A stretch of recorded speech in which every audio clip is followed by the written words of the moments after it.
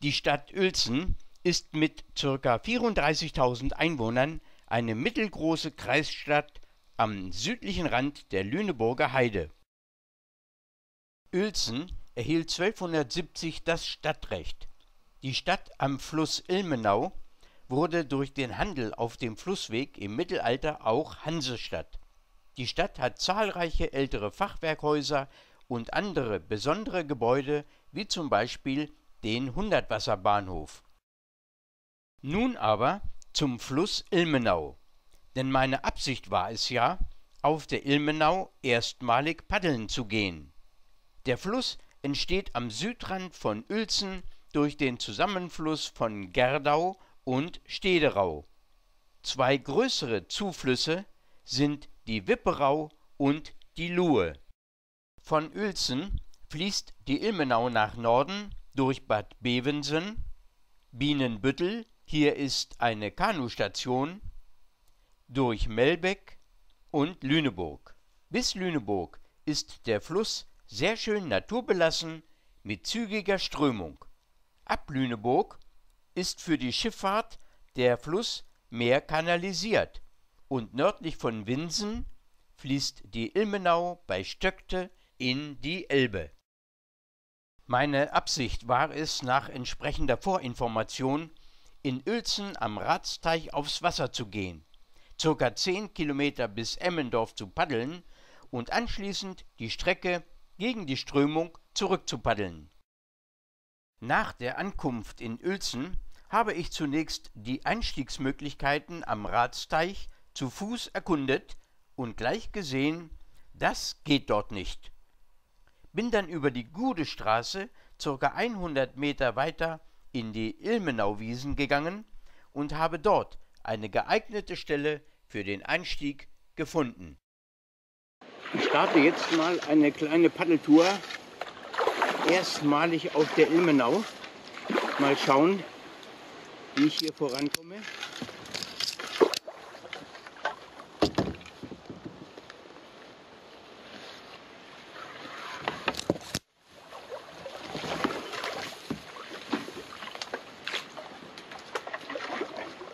Oh, scheiße. Entschuldigung. Ich sehe schon mal, ich komme gar nicht voran.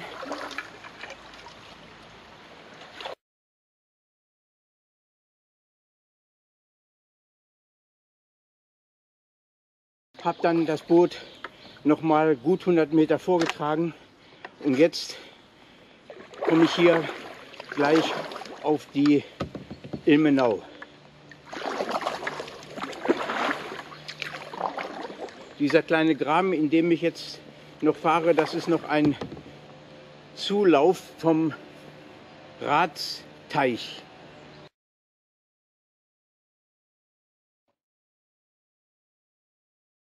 Jetzt bin ich auf der Ilmenau und fahre gleich unter der langen Brücke durch.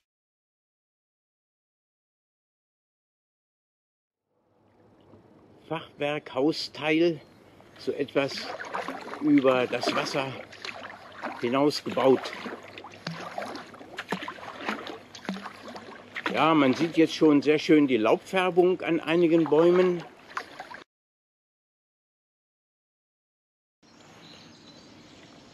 Ja, rechts und links Baumbestand an der Ilmenau. Das sieht natürlich ganz romantisch aus.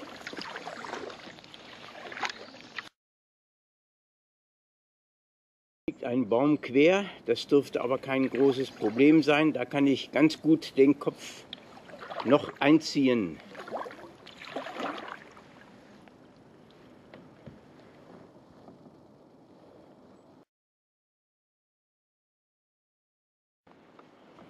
Hier muss ich auch wieder gucken. Oben eine Fußgängerbrücke. Und an dem Hindernis kann ich ganz gut vorbei. Es ist schon sehr interessant zu sehen, wie unterschiedlich die Laubfärbung jetzt Mitte Oktober ist. Teilweise noch ein kräftiges Grün und teilweise schon schöne Herbsttöne in Rot oder Gelb.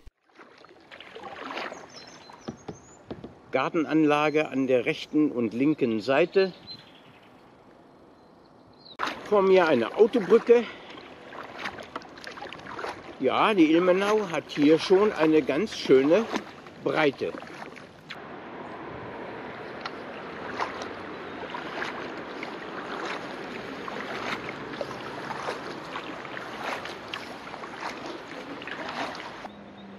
Jetzt in etwa 80 Meter Entfernung die Wehranlage vor mir. Und ich muss schauen, dass ich hier an der linken Seite irgendwo raus kann. Ja, da ist so ein Schild, rot mit weißen Pfeilen. Da muss ich mal wohl ranfahren oder auch reinfahren.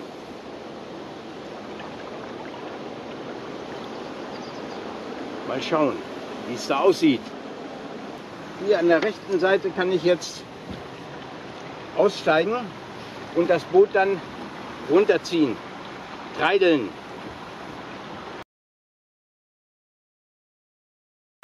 Jetzt treidele ich das Boot runter.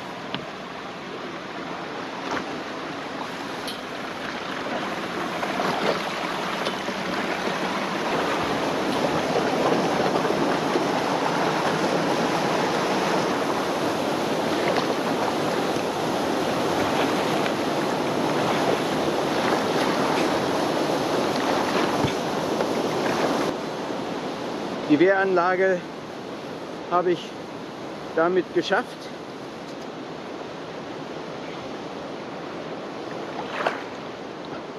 Alles okay, jetzt geht's weiter. Man sieht, es ist noch ziemlich diesig. Von der Sonne ist im Moment nichts zu sehen. Und die Ilmenau ist hier jetzt im Moment etwa so breit wie die Ise nördlich von Etwa Gifhorn. 400 Meter zurückliegend war an der rechten Seite der Zufluss der Wipperau. Das habe ich aber erst später anhand der Karte festgestellt. Wieder ein starker Bogen nach rechts.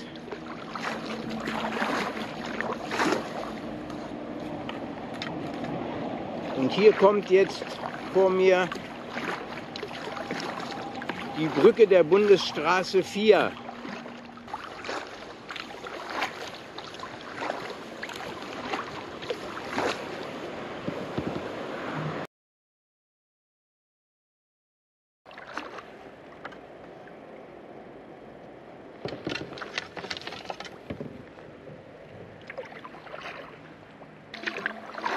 Die Ilmenau hat hier jetzt zum Teil den Charakter eines eingeschnittenen Wiesenflusses.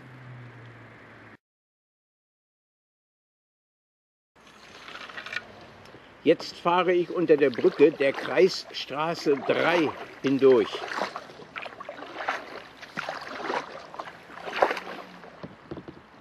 Es ist jetzt zehn Minuten vor zwölf und ich habe den Eindruck, der Nebel, der lichtet sich jetzt immer mehr und die Sonne kommt ein wenig durch. Fahre ich hier mal unter durch.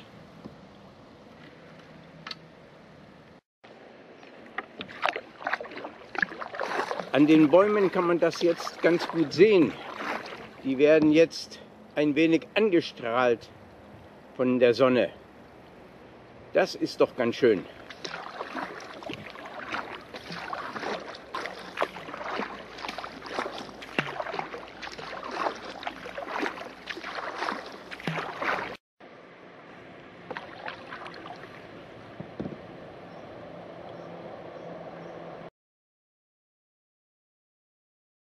Vor mir links und rechts am Ufer wieder zwei mächtige Bäume.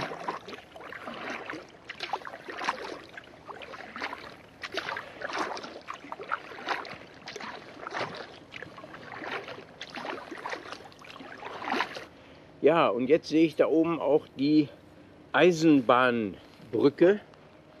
Und ich bin jetzt insgesamt 4,5 Kilometer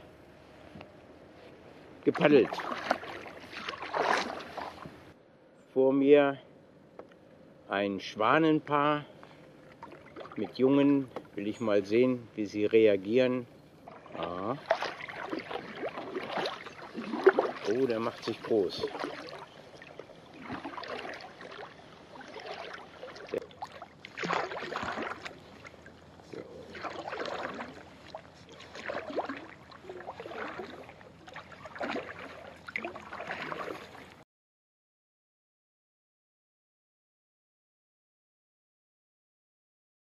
Vor mir, da führt eine Rohrleitung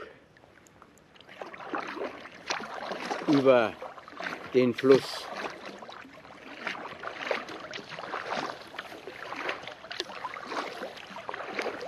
Ja, man sieht hier auch jetzt die schöne Spiegelung der Bäume im Wasser. Die Sonne ist da.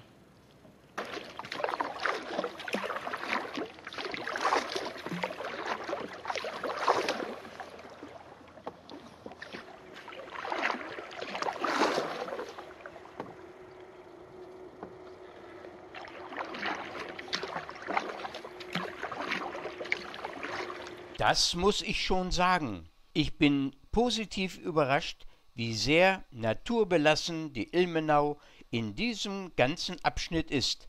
Wirklich ein schönes Stück Natur hier im Landkreis Uelzen.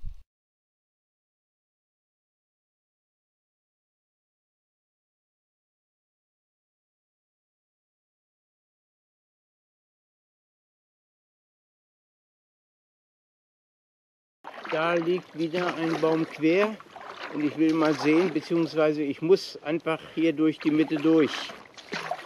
Mal sehen, ob ich da drüber komme. Ja. Hier halte ich mal etwas mehr in die Mitte.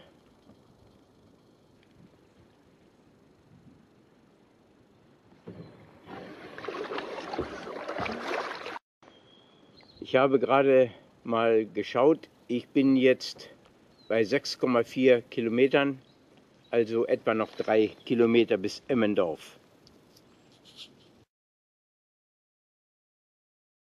An der rechten Seite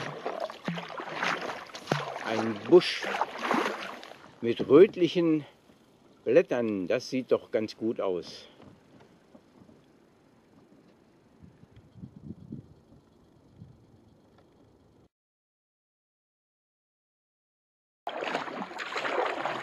Ich muss hier an der rechten Seite durch.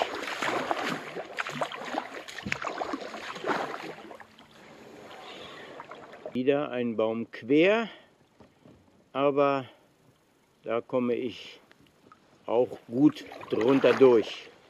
Kopf einziehen. Hier gleich nochmal.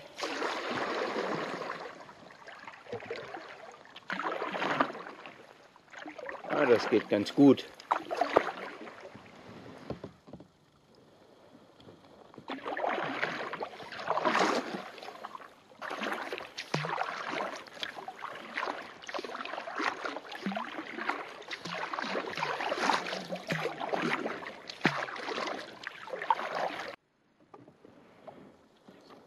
Das muss ich schon sagen. Ich bin positiv überrascht, wie sehr naturbelassen die Ilmenau in diesem ganzen Abschnitt ist. Wirklich ein schönes Stück Natur hier im Landkreis Uelzen.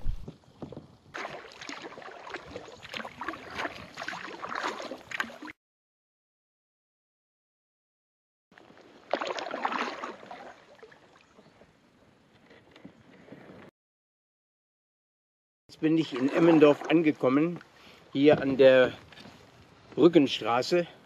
Wegen der doch stärkeren Strömung bin ich nicht zurückgepaddelt. Eine nette Dame hat mich nach Uelzen mitgenommen, wo ja mein Auto stand.